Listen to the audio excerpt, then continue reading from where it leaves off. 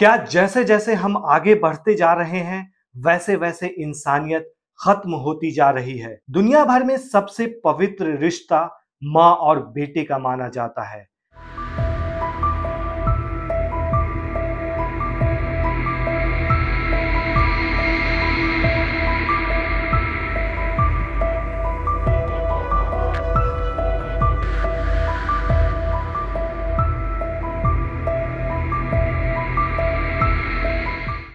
लेकिन आज के इस दौर में शायद इंसानियत मर चुकी है।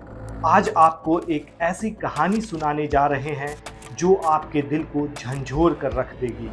आप सोचने पर मजबूर हो जाएँगे कि एक माँ ऐसा कैसे कर सकती है।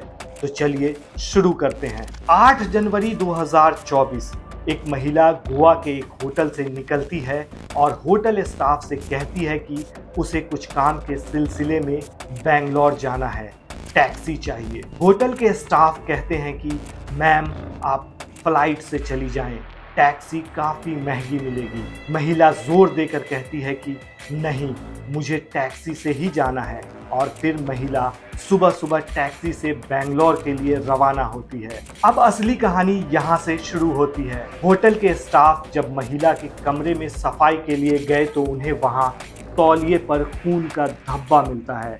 होटल के स्टाफ को शक होता है कि वो पुलिस को मामले की जानकारी देते हैं। पुलिस तुरंत मौके पर पहुँचती है और फिर जाँच शुरू कर देती है। इस दौरान होटल के स्टाफ पुलिस को बताते हैं कि महिला के लिए कैब उन्होंने ही बुक किया था। पुलिस कैब ड्राइवर को फ़ोन करती है और कहती है, कहाँ हो?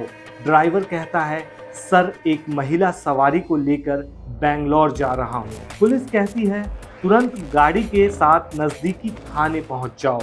उसके बाद ड्राइवर गाड़ी सहित नज़दीकी थाने पहुँच जाता है और पुलिस से कहता है कि कैब की तलाशी लेनी है।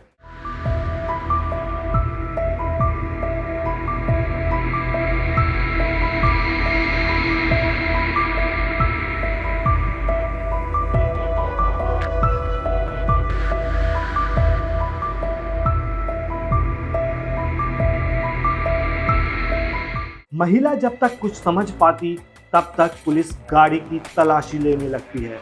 तलाशी के दौरान सूटकेस में लाश देखकर ड्राइवर के होश उड़ जाते हैं। सूटकेस में मासूम की लाश और लाश के साथ कातिल माँ। ड्राइवर वहीं पर बेहोश हो जाता है। पुलिस की जाँच में पता चलता है कि बेंगलोर से गोवा घूमने आई एक स्टार्टअप कंपनी की सीईओ ने होटल के रूम में अपने चार साल के बेटे को मौत के घाट उतार दिया है। महिला वारदात को अंजाम देने के बाद चुपचाप लाश के साथ मौके से फरार हो जाती।